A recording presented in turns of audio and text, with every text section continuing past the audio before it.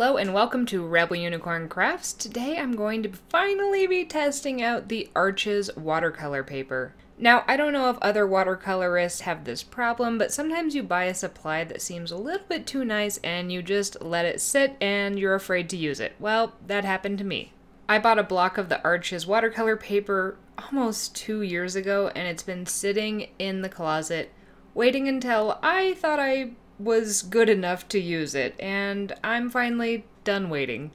I don't know if I'll ever deem myself good enough, but I am really curious because there is a lot of hype around this Arches watercolor paper. The one that I purchased is 140 pound and it's a 9 by 12 paper and it's about $36 now if you were to buy it. I'm not sure how much it was when I bought it because again, it was quite a while ago. For that, it comes with 20 sheets in this block format, which is nice because I don't actually have to tape it down, but I can tape it if I want to. Normally, I purchase the Canson XL, which is my favorite paper. It's also 140 pound, cold pressed, and it comes in packages of 30 sheets for 9 by 12 and it ranges between about 6 to 9 dollars depending on where you buy it from, so you get a lot more for a lot less. Canson has been my go-to for quite a while, and I am really curious to see how it stacks up against the Arches and if the Arches is actually worth that huge price difference.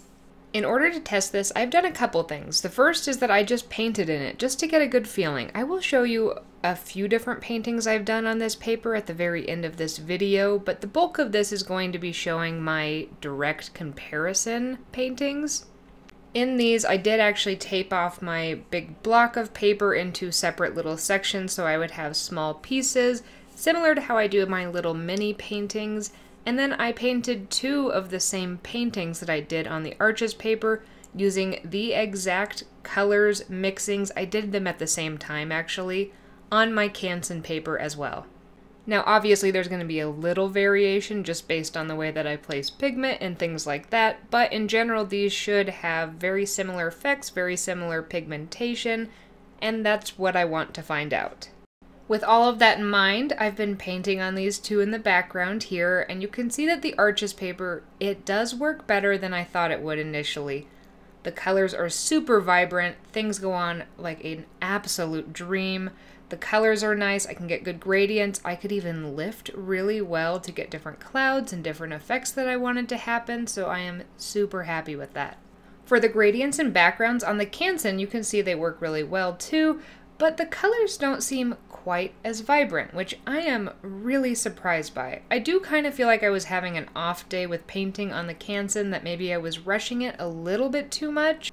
So you might want to take that into consideration, but I don't think that fully explains why these colors look so much different on the different papers. Next up, when we're talking about layering, the layering works beautifully on the Arches. I did notice that the Arches dries a lot slower, and I do think that's just because of what the paper is made out of. So I'm not super familiar with having to wait quite as often, but I could use a hair dryer to actually dry it off and speed that up. I will just have to get to know the timing of this paper, I think, a little bit better in order to better utilize it. I have a few more things I want to talk about the Arches paper specifically, but I do want to jump kind of ahead and really address the Canson versus Arches part of this. The place where this Arches really did seem to stand out was when I was building these layers of mountains. The more pigment I put on top of other layers, I was getting a little bit of streaking and separation with my Canson watercolor paper. Now, I don't always have a problem with this, so again, I think I was having a little bit of an off day. But I do sometimes struggle with that with this paper, and I thought it was all down to technique, and now I'm kind of thinking maybe the problem is split 50 50. Part of it's my fault, and maybe part of it is the paper. Because, again, jumping ahead to some finished paintings, let's look at the end result of these two paintings between the Canson and the arches. You can see how much extra separation there is on the Canson ones and how the colors aren't as vibrant and they don't kind of stack up as nice. I can't quite explain this. I mean, obviously, the Arches is better at absorbing the pigment and the colors, so kudos to them. but I was genuinely surprised at the difference. The final thing I was concerned about with the arches, and I'm still not entirely there with it, is things like blooming effects. I really like to use some of those in my foregrounds, and I struggled a little bit to get this to happen. But I think that again comes back down to that timing issue where this paper dries a lot slower than the one I'm typically used to. So I think I need to be a little more patient and learn the general timing of this, which um, is just something I need to work on, not that the paper needs to work on. In addition to all of the other benefits I've kind of talked about this paper with, the other funny thing that I did not expect was that I could remove this tape without using a hair dryer. It came off super easily. I wasn't concerned about ripping this at all as I was pulling this off. I'm sure it can still possibly happen, but I do use a pretty low adhesive grade masking tape and even though it's not the best masking tape on my Canson, I have to treat it with a hair dryer in order to release that adhesive to get it off. Otherwise, things really rip, and um, it's kind of scary to take the tape off. This, it, I didn't have any bleeding underneath the tape, and I could just take it off, and it, it worked great. I don't, I don't know. I was really surprised by that. So ultimately, here are the three main things I did with this Arches paper so far. I did kind of just a basic landscape.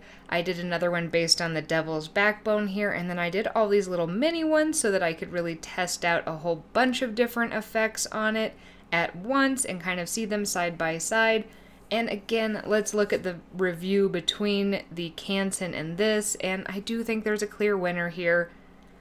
It is still really pricey for me, so I'm not entirely sure if I will switch over, but I'm kind of getting the hunch that I'm going to be adding more money in my budget for paper specifically because of how impressed I was with this. It far exceeded my expectations, and I didn't think there would be any way I could justify spending over a dollar on a single sheet of paper for each one of these.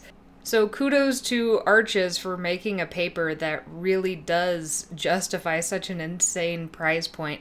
I don't I don't know if I'll change over it for my actual everyday practice because that is a lot of money, but I do think that the price point is justified. It was nice enough to consider this to be worth that much more than something like the Canson watercolor paper. What do you think? Have you tried Arches or Canson? Let me know what your favorite paper brand is down below. I'm super curious to try out some other ones and I'd love some suggestions. If you want to see more testing videos where I test out different variables for fluid painting, want to see any watercolor tutorials, or some other art supply testing, subscribe to my channel.